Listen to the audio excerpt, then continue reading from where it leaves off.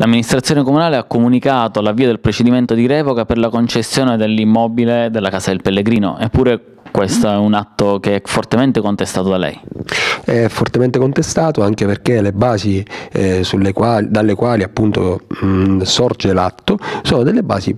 puramente legittime, perché eh, si richiama la volontà di una commissione consigliare, la commissione consigliare non ha la possibilità di esprimere un, eh, un parere a cui eh, si dà seguito con procedimenti d'ufficio perché questo oh, eh, può avere eh, valenza solo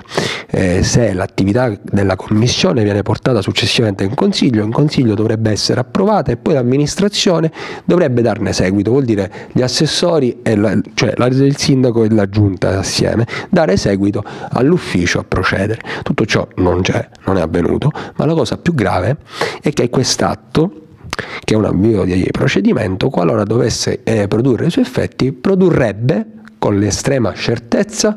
un danno, un, eh, un danno alle casse del comune rilevante. Perché esiste in questo momento un contratto in essere? Sì, esiste una convenzione che deve essere rispettata, quella la convenzione è soggetta a anticipazioni eh, nel, diciamo, nei, termi, nei, tempi previsti e sicuramente la, la, controparte potrà chiedere un risarcimento danni che andrà a gravare solo ed esclusivamente sulle tasche dei cittadini.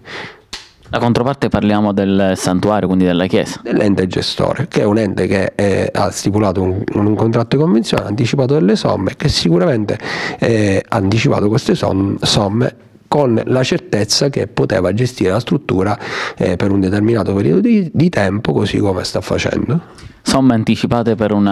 lavoro di ristrutturazione e riqualificazione della Casa del Pellegrino più o meno durante la giunta Fatuzzo? Eh, no, mm,